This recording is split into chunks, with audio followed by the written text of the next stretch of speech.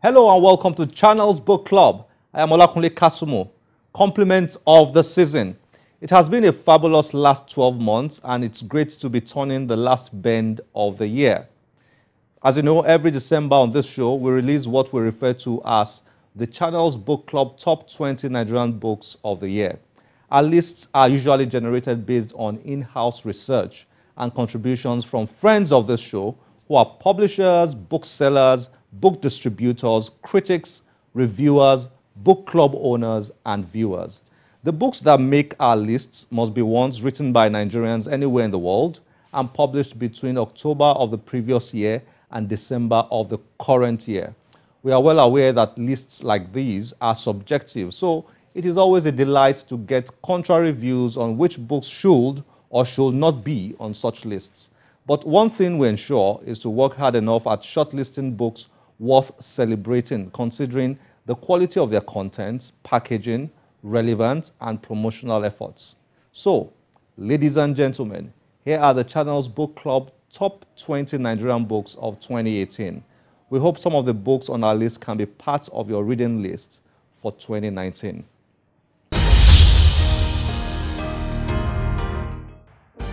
Fresh Water.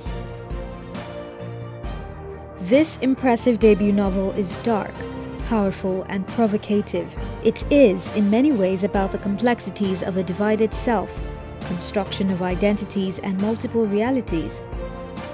It focuses on a young Nigerian woman, Ada, who developed separate selves within her. As she grew, Ada became a source of deep concern to her family with her exhibition of volatility. When she came of age and moved to America for college, the group of cells within her grew in power. It soon became clear that something had gone terribly wrong. My mind is no longer here. Osaon, a man who is haunted by a dark past.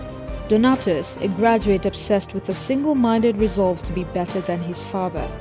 Haruna, the doctor who could not save his. And Chidi, an unemployed graduate who wants to become wealthy at any cost.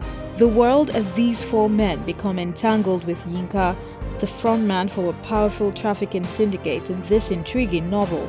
It's the story of a nation in the midst of decay and of men willing to risk it all in a bid to chase dreams beyond their reach.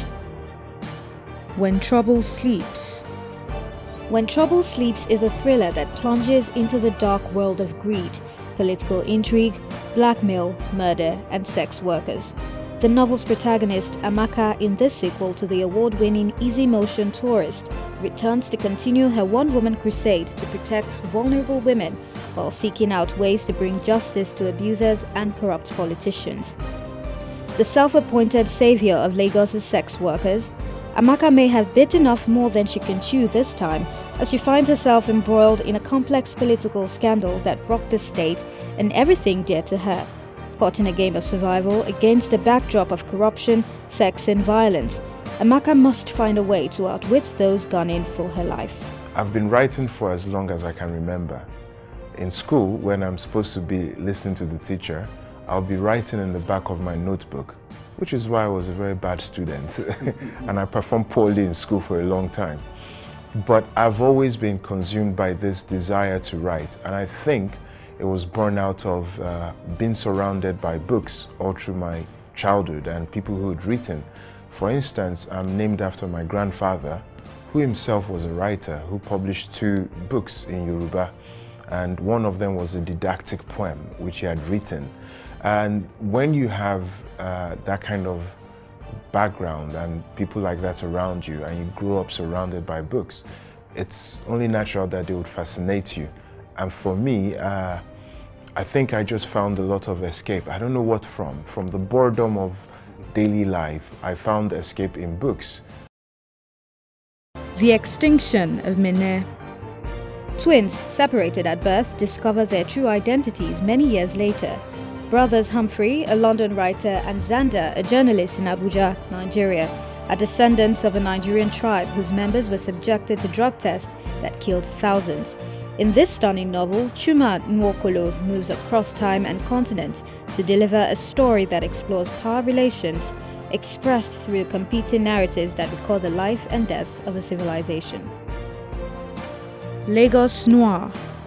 The award winning series of original noir anthologies, launched in 2004 with Brooklyn Noir, comprises of new stories, each set in a distinct location within the geographic area of the book.